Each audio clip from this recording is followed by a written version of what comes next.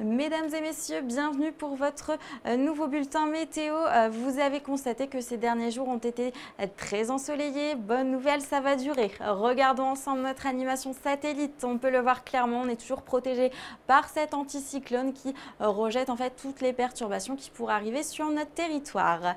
Pour votre dimanche matin, ce sera dégagé sur l'ensemble de la France. On aura malheureusement quelques nuages et précipitations au niveau du sud-ouest. Partout ailleurs, ce sera agréable.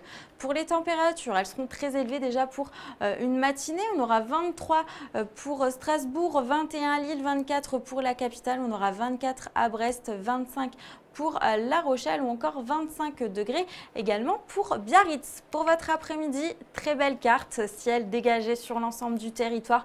Quelques nuages qui cette fois seront sans conséquence pour le sud-ouest et pour les températures, elles seront estivales. 27 à Strasbourg, 28 à Nice, 33 pour Montpellier, 33 à Perpignan, 29 pour euh, Biarritz, 28 à La Rochelle ou 27 degrés pour euh, Brest. La tendance pour votre début de semaine, c'est un beau début de semaine. On aura quelques nuages au niveau euh, du nord du territoire. Partout ailleurs, ce sera très agréable. Les températures sont assez stables. Et puis pour le reste de la semaine, pas beaucoup de changements. Euh, attention par contre, mercredi, risque d'averses orageuses pour le sud-est.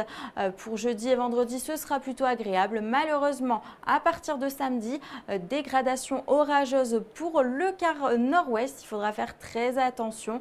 Et puis des températures qui restent tout de même estivales. En attendant, n'oubliez pas de souhaiter une très belle fête à tous les Thibauts. Je vous souhaite à tous un très bon week-end. Je vous dis à bientôt.